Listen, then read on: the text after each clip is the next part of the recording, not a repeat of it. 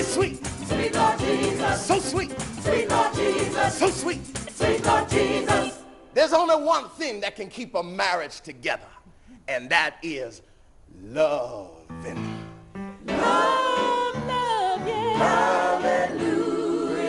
Praise be to God. Yes, love. Love.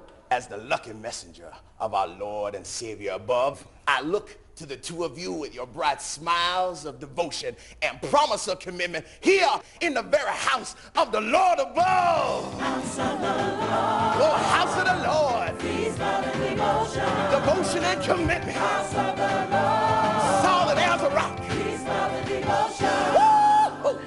This is nuts. But before I continue, I must ask if there's anybody here who has any objection whatsoever to the union of these two lovebirds. I'm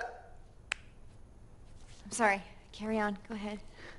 As I was saying, if there's anybody here who has an objection to the union of these two love angels, speak of their peace now.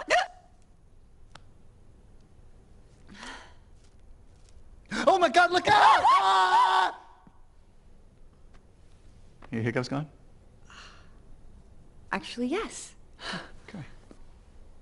Carry on, minister. No one objects. Right? Right. Then by the power vested in me by the glorious state of Nevada, I now pronounce you husband and a wife. You may now kiss the bride. Yeah.